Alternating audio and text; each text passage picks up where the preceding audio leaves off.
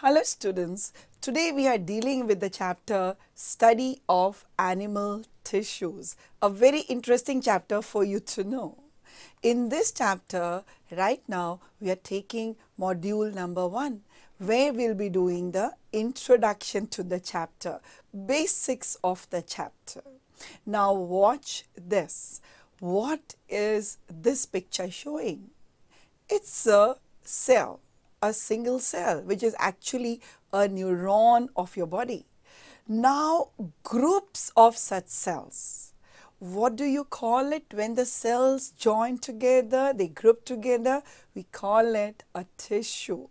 Similarly, groups of these tissues together form an organ and various organs together form organ system.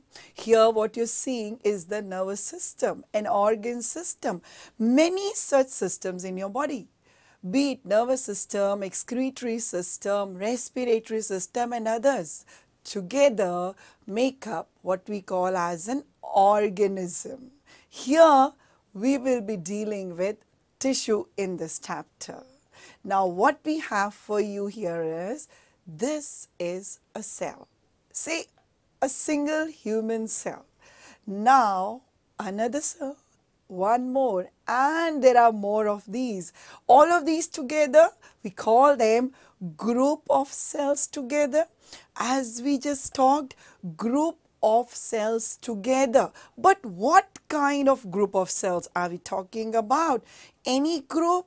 No, specifically we are talking about the group of cells having similar shape, structure, function and also origin.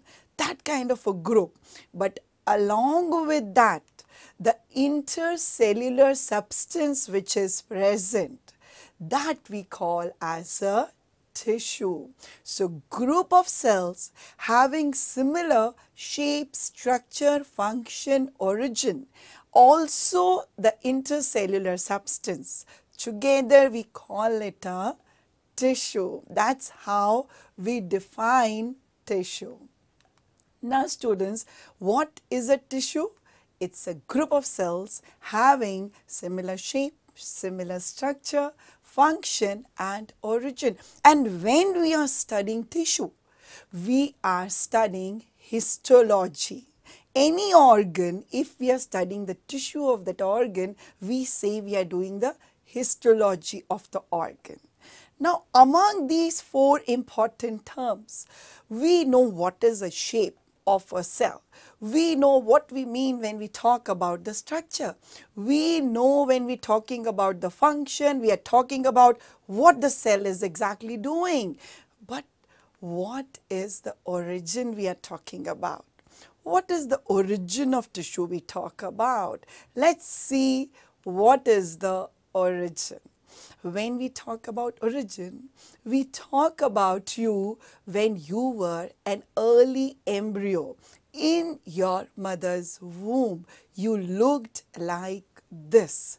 This means you had cells and these cells were present in the form of germ layers. They formed germ layers also known as embryonic layers. Where do you see layers in this picture? The layers, the outermost layer which is known as ectoderm. The middle layer known as mesoderm and right inside there the layer is known as endoderm. These three layers of cells in early embryonic stage, these are the three layers which gave rise to different tissues because you were just these three layers and nothing else. So whatever tissues came, were formed, they were formed out of these three layers. So when we talk about origin, we say origin from which of these three germ layers. Now students, in this module, we just briefly talked about the introduction. Next module, we'll be doing the different types of tissue. Till then, take care.